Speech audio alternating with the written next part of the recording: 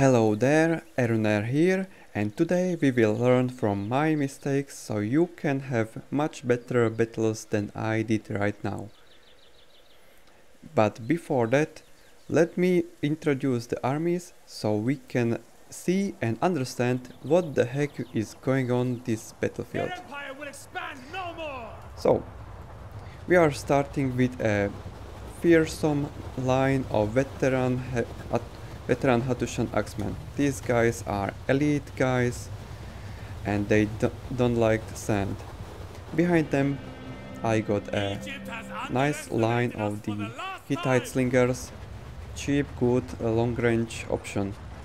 And as you can see in the pairs of two I got three groups of Hittite tribesmen. These two-handed guys will be very important during the battle. And of course, we got some heavy chariots on my own. Now, let's ha have a look on what is bringing my opponent.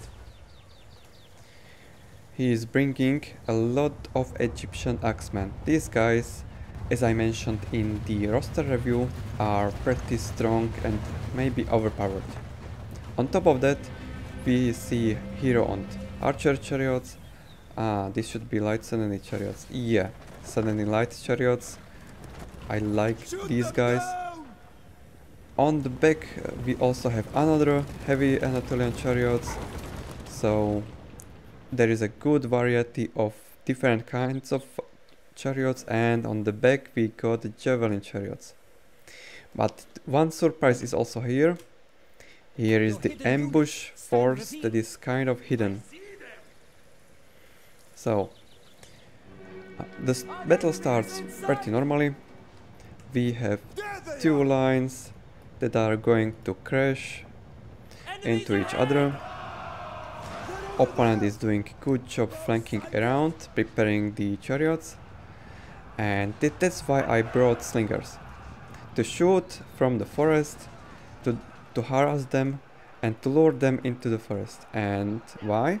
Because I do have a lot of these two-handed spear guys they will be very good at hitting enemy chariots. I was like, oh, okay, maybe I go to flank on my own, but but to my surprise, I was ambushed by this flanking force of Egyptian axemen. Thankfully, this is just a small blob, and if I can hold enough, that might be great very good if you can also use spare units to help this so so you are not going to get flanked or wrecked.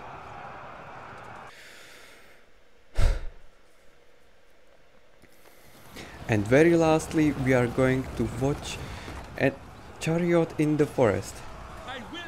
It's somehow parked here. No charging. Guess what it will eventually get deleted by infantry.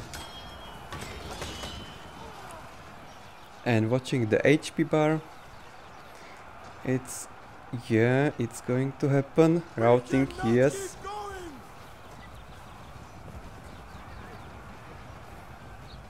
And this is exactly why you should don't go fight in the forest with chariots. Okay, now the rest of the battle is just typical grind with some occasional flanking. Let's see if I do some flanking or not. Uh, no, okay. And that's it. Victory Thanks you, thank you for watching and have a nice day.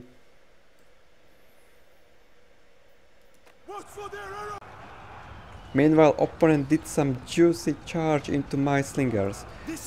My units are getting wrecked and this is my own mistake and I was a little bit too late to bring my spears to chase away chariots.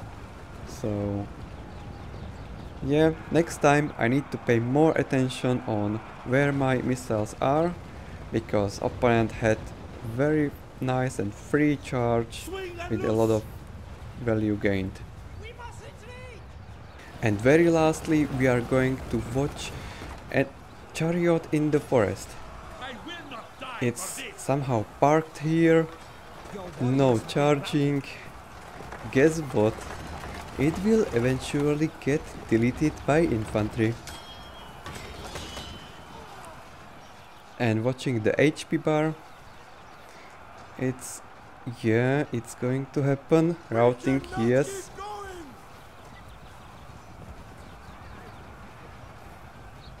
And this is exactly why you should don't go fight in the forest with chariots. Okay, now the rest of the battle is just typical grind with some occasional flanking. Let's see if I do some flanking or not. Uh, no, okay. And that's it. Victory Thanks you, thank you for watching and have a nice day.